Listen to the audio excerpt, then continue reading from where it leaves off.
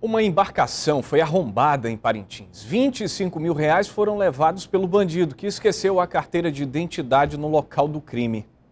O arrombamento aconteceu no porto de Parintins, onde estava ancorada a embarcação Coronel Tavares, que faz linha para a capital do estado. O suspeito é este homem, Admilson Ferreira da Silva, que costumava viajar no barco.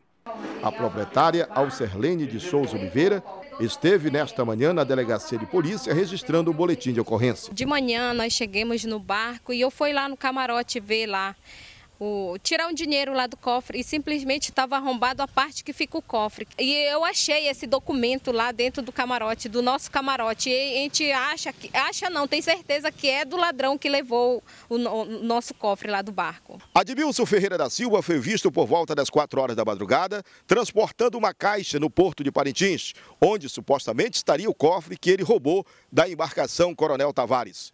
Admilson trabalhava numa empresa na capital do estado, de onde foi demitido também por furto. A polícia suspeita que Admilson tenha agido com apoio de uma segunda pessoa. O delegado Reinaldo Filgueira disse que a empresa está oferecendo uma recompensa de 12 mil reais para quem der alguma pista do acusado. Mas a polícia já está é, empenhada né, nessa, nessa, nessa missão e nós esperamos até o final da tarde lograr êxito e prender o meliante que cometeu esse furto.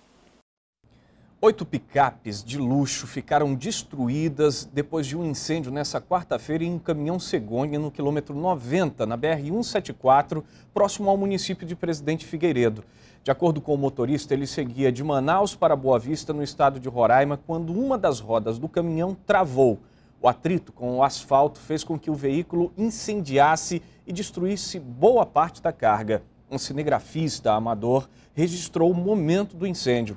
A Polícia Rodoviária Federal informou que no início da tarde a estrada foi interditada nos dois sentidos para a retirada dos carros pela empresa responsável. A via já foi liberada. Com o fim da redução do IPI, carros novos ficam mais caros e as concessionárias apostam no estoque do ano passado para manter as vendas. Começar o ano de carro novo pode ficar mais caro. A redução do IPI terminou no último dia do ano passado. Nos modelos 1.0, o preço sofre reajuste de 7%. Nos modelos 2.0 Flex, o aumento chega aos 11%. O imposto vai subir para 13% para os veículos movidos somente a gasolina. Segundo a Associação Nacional dos Fabricantes de Veículos Automotores, cada empresa vai definir quanto o aumento vai ser repassado aos preços finais dos veículos. Apesar do aumento do imposto, essa é a melhor época de comprar. Isso porque as concessionárias ainda têm estoque com lotes comprados em 2014 sem o IPI. Com isso, o cliente que vinha até a loja e comprar esses veículos, que nós temos um estoque limitado, em torno de 150 carros, eles também terão benefício desse desconto. O Wendel aproveitou e fechou o negócio. Fiz a melhor avaliação aqui e fiz uma melhor troca, né? Fiz uma boa troca, né? Ficou uma parcela muito boa, né? E eu resolvi trocar nessa época do ano, né? Antes que aumente. Aqui, os veículos comprados agora estão de 6 a 8 mil reais mais baratos. Nesta outra concessionária, também tem estoque de carros com fabricação em 2014. Em geral, no início do ano, é, nós temos sempre algumas sobras de estoque, né? Que em automóvel ninguém diz sobra, mas são carros que já são do anos anteriores e que normalmente eles sofrem algum tipo de promoção para o público, né?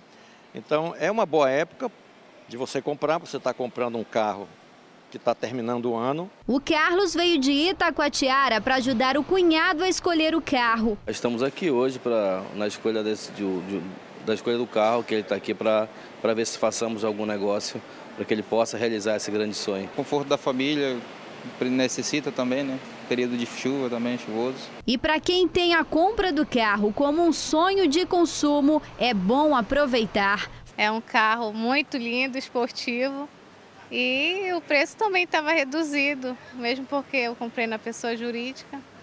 E muito bem, amei o carro, maravilhoso. Clássico, um sonho de consumo realizado. Instantes, pacote de melhorias no transporte coletivo da capital deve ser implantado até o fim do ano. E ainda o aumento da procura por academias de ginástica aqui na capital.